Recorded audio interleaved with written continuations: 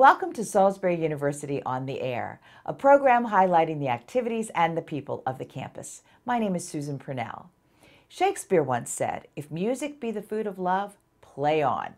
With that as inspiration, SU provides a veritable smorgasbord this December with a variety of holiday concerts and other musical events. Joining me to discuss these programs are William Folger, co chair of SU's Music, Theater, and Dance Department, and Tammy Kilgore, manager of the Salisbury Symphony Orchestra at SU. First is Bill. Welcome, Bill. Hi, thanks for inviting me again. Always good to see you. Thank you. So, I understand that one of the highlights of the holidays is the Winter Music Festival, and this year it's called Holidays with a Twist. Yes. Tell me what the twist is. I think uh, it just demonstrates the diversity of our program Mm-hmm. uh, because each of our the conductors in my department have their own ideas, artistic um, ideas in terms of repertoire. Sometimes it's hard to come down to one theme. So the Mm-hmm. Twist sort of it, it, it, more the traditional than to the untraditional. Non-traditional, I guess, and uh, so it, there's something for everybody this time, and, and some music might make you do a little twisting. Perhaps, so. Okay. What kind of uh, ensembles are involved in this year's festival? We start with the University Chorale on Mm-hmm. Saturday, and then on the 3rd and December 4th with the University Chorale. And then we move to the Salisbury Pops, which is on the 6th of December, Mm-hmm. Tuesday. And then on the 8th, Thursday, we have the Jazz Ensemble. Phew. It's a lot. And then we Big culminate week. with the SSO on the uh, 10th. Right. So the Salisbury University chorales you direct, is that That's right? correct. Okay. And where will their performance take place? Um, these performances take place at Holloway Hall Auditorium, and then the chamber choir the next day is in the Great Hall. Okay. Now the concert that uh, the first one that we talked about, the uh, Un- Salisbury and University chorales, is that a combination of students and community members? It is, yes. Oh. We have um, from all ages, and some, sometimes some of my faculty and staff join in as well. Uh huh. So tell me about what some of the works are that they'll be performing. All right, we're highlighting a, an Eastern Coast premiere, a piece called Stella Clara. It's um, Latin for star bright. It's the old star bright, starlight poem. And um, Silvestri is the poet who expanded that. Uh, the piece is by Richard Waters. It's unaccompanied, beautiful about that poetry.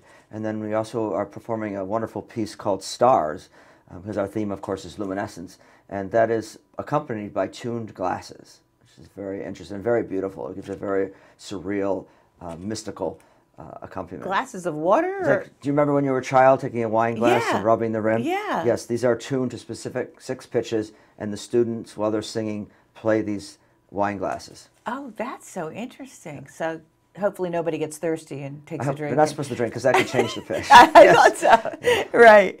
And um, so for this particular performance, how much are the tickets? We have twelve dollars for adults, Mm-hmm. nine dollars for seniors and students, faculty. And um, if anybody has a real problem, I, I can um, let people into the pro- program too. Children, we don't want anybody to stay away. No, like, like to have everybody come. afford it. Yes, and it's a short concert, little under an hour. There's something for everybody. Uh, it's mostly unaccompanied. We're doing one piece called Images, a four movement with a jazz trio. So you'll get your self twisting. Nice to go back to our theme. Um, now, you also direct the SU Madrigal Choir, which is, by the way, what we have in common because I directed my Madrigal Choir at Gettysburg.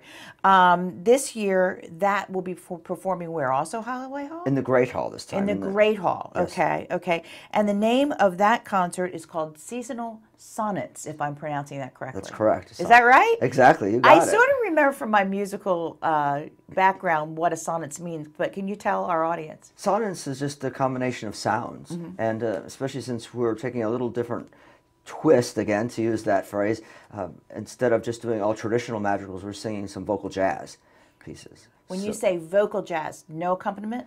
Uh, mostly unaccompanied. There's one piece that I'll probably play the piano with.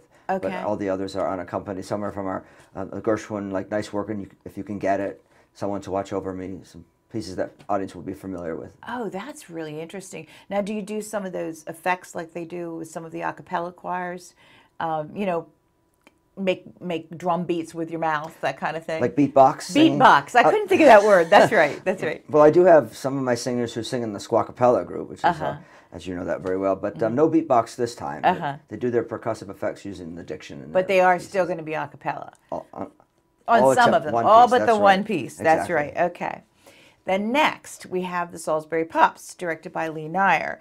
Uh, what do they have in store for us this Wow, year? lots of fun. Uh, now we have to look at my notes so I don't That's get anything all wrong. right. We're inviting Dr. Paul Pfeiffer to come narrate "Twas the Night Before Christmas." Ah. I'm sure everybody knows it with a band accompaniment, Mm-hmm. and then Squawk Capella, as I mentioned previously, will be joining the band as well. And then we have uh, SU senior Cornelius Fletcher, who has one of the lowest bass voices I've heard. He will be narrating his reprise role as the Grinch, the Grinch who stole Christmas. Oh, that's fantastic. That's a real uh, a show that's great for all ages, isn't it? It is. Oh, I still love to see it every year. Santa Claus making his appearance. He most definitely is. Oh, Yes, so bring great. the children. Yes, he will That's be there. great. Any other pops traditions that we can I, expect I to think see? he's ending with the uh, Leroy Anderson's the um, um, sleigh ride, Mm-hmm. and um, also um, he's doing a Chip Davis uh, piece at the uh, by Mannheim Steamroller, which is very uh, common for Christmas holiday season. So you said Paul Pfeiffer is the, the guest reader. Yep, Dr. Um, Pfeiffer. Mhm. What does Dr. Pfeiffer teach? He is the uh, he was the co-chair and artistic director of the Bobbi Biron Theater in our theater and dance department. Uh, I he, knew I'd heard the name. Yes, Yes, yes, he was here last year. I think uh, perhaps um, um, talking about his the program. And where will they be performing? That will be taking place also in Holloway Hall Auditorium. Okay. At seven thirty. Okay. Now, the SU Jazz Ensemble, Jerry Tabor's ensemble, continues the festival. Where will that concert be? That is also being performed in Holloway Hall Okay, so you just have to show up at Holiday Hall almost any day that week. You'll be more right than wrong. That's right, that's right. And all concerts are 7:30 in Holloway Hall um, during that festival. Okay, week. that's good. That's good to know. Um, I've heard there also will be a special guest at the jazz concert. Right, we have Mr. Donnie Edwards, who is a very famous drummer. He plays with the Charles Mingus Band. Oh. And also Opus 5, so he's an international artist. Um, also, I want to plug a quick workshop on December 8th. That's um, Thursday at 12:30 in the auditorium. He's going to do a workshop with people in uh, people in the community are invited. Oh, Charlie will. He'll Uh, be doing the Don, workshop. Donald Edwards. I mean yeah. Don. I'm Yeah, sorry. that's right. Don Edwards. uh, That's all right. Stop. Stop. I, I, I get a little confused. Yes, okay, so it's of- Don Edwards. Right. Okay. So Yep. can we go back to um, the special guest? Number 15. So you say this special guest uh, this year in jazz, the jazz ensemble is going to be Donald Edwards. He's a percussionist, Mm-hmm. drum, drummer, and uh, he's um, famous with the Charles Mingus Band and Opus 5. I mean that's two big groups, national groups, right? Exactly, yes. Yeah, so he's a very well known name internationally. And we're fortunate to be able to have him. He's, he's workshopping with our students on Thursday, the 8th of December Mm-hmm. at 12.30 in Holloway Hall Auditorium. Oh, that's a great experience for them to have. Definitely. Wow. So the Madrigal Choir and the Salisbury Pops and the Jazz Ensemble are all free. Is that right? That's correct, yes, with the exception of the University Chorale, Salisbury Chorale, and the Salisbury Symphony Orchestra. All other performances that week are free. So no excuses. Everyone should get out to hear one or two or three or four of those concerts, which will really get you into the holiday spirit, I'm Definitely. sure. Well, it just sounds like an amazing uh, array of great things happening, and I certainly hope people will join us, come out and hear all the great music. We're so lucky to have you, Bill, and to have all of the community and students um, and, and all their talent here to help us celebrate the holidays. Thank you. Thank you for pr- promoting our music festival. Absolutely. SU's music students have so much talent to offer, and we appreciate you, Bill, the students, and the directors sharing that with the community. And now, here's a look at these and other events happening on the campus in December.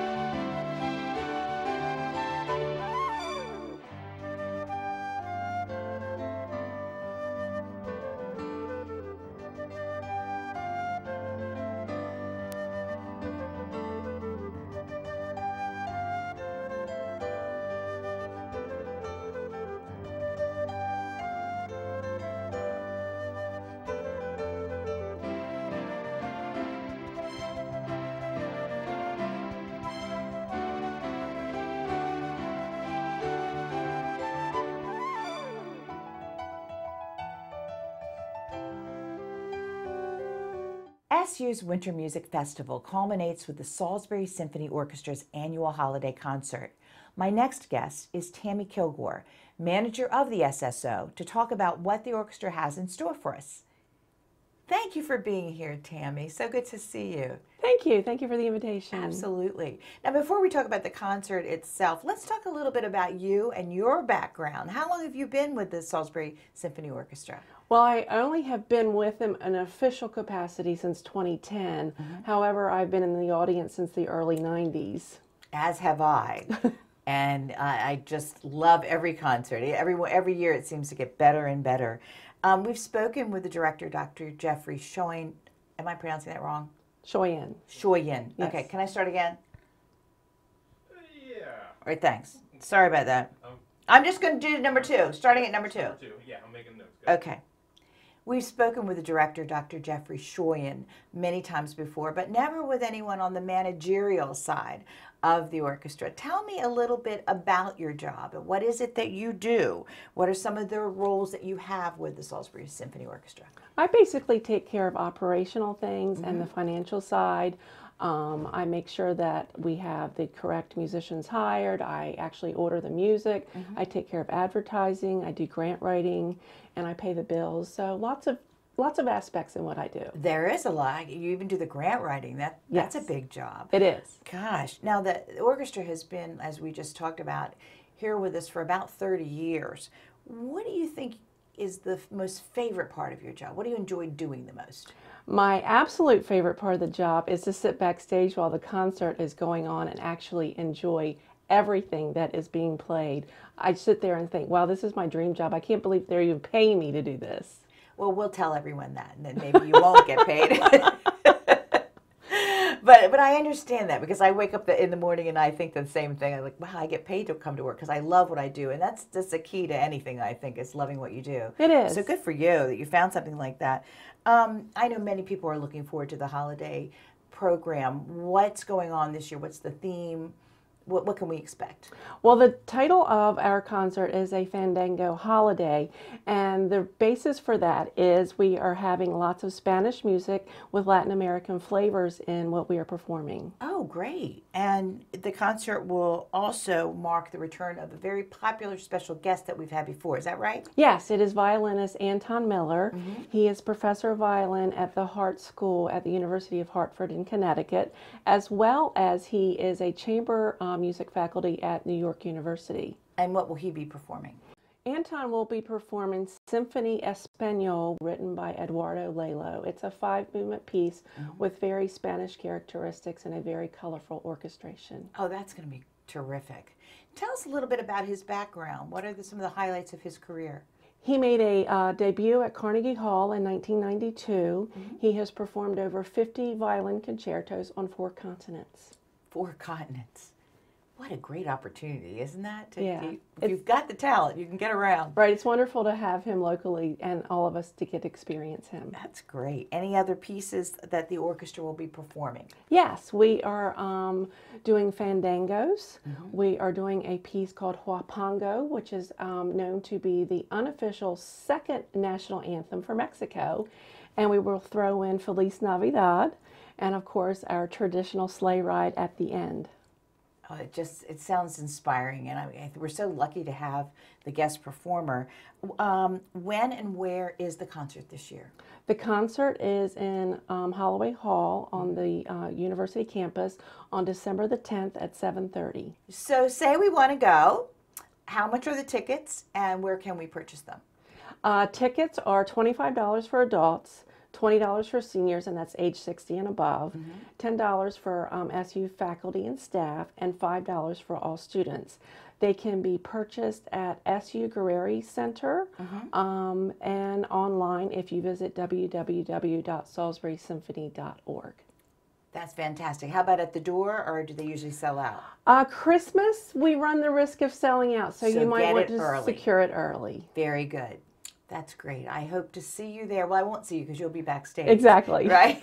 Going, shoo! it worked again. Yes. Right. Well, so good to meet you, Tammy. We're, we're lucky to have you, and it's neat to hear a little bit about the, the, the backdrop uh, behind the, the symphony orchestra. There are many details, I- but it's fun. I, I enjoy it. there are. Thank you for all that you do Thank you. to bring the orchestra to us. And here's another look at events happening on campus in December.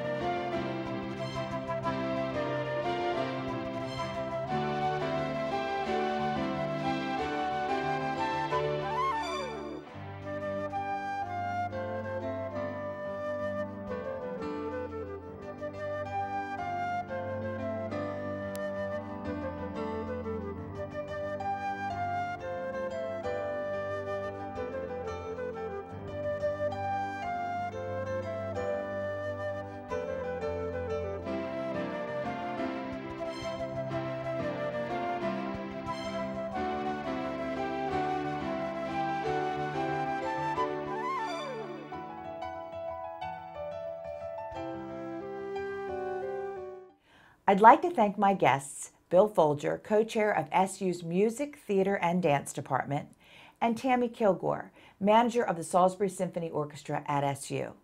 So many enjoyable events are happening on campus this December. I hope to see you at some of them.